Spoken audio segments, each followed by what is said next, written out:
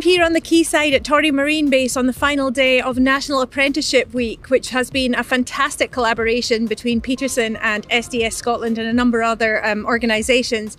I'm here today with Stewart White, a director at Peterson's, and Andrew Much, one of the apprentices from 8020, a Peterson Group company. Stewart, tell me a little bit about why Peterson felt this was a great event to collaborate with Skills Development Scotland on. Sure. Our experience of working with apprentices uh, over the years has been extremely successful. It continues to be a strong part of our history, our present, and our future, and, and we're very keen to support it and encourage more young people into the industry. I mean, the future workforce is such an integral part of the transition going forward. How important are apprenticeships to building that? Well, we need people who are going to bring new ideas to the company, people with different backgrounds, and, and the breadth of our business now means that we can give um, apprentices a really great experience across a, a, wide range of disciplines. What you see here on the quayside is only one part of what we do as an organisation. That's very true. There's a lot of other roles in the company. That's maybe something you can tell us a bit more about, Andrew. How have you found your apprenticeship so far? Yeah, so we've had a really busy week. Um, I went to a few schools basically spoke about my apprenticeship, how I found it, uh, mentioned that it was a great alternative to university and college. You're getting on the job experience, earning a qualification, and of course, a wage with that, um, which I feel a lot of school kids maybe don't really know about, or more so that the parents don't know that a great opportunity like this exists think that's probably true. Do you think the hands on experience that you've had um, as an apprentice, and certainly the experience you've had in bringing on other apprentices this week, is an important part of learning and should be looked at as an alternative to university? Absolutely. I mean, this is just the start of you know a whole career ahead of me, so I've got a lot to look forward to a lot to um, just gain. I'm working with professionals every day. I'm learning off of them. This is a, a great foundation for a, a career. And how successful has your apprenticeship programme been to date?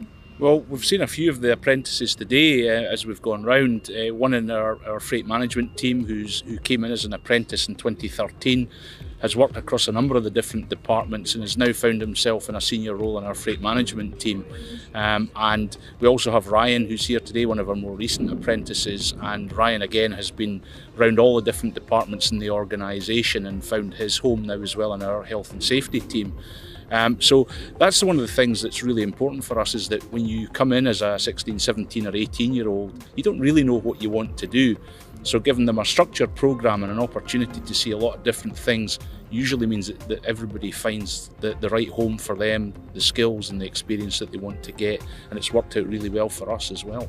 That's fantastic to hear. Um, I know that Skills Development Scotland have put a lot of work and effort into National Apprenticeship Week this year, and you know, thank you for coming on board with them. What advice would you give to other employers that are thinking about doing a collaboration with them for this type of an event?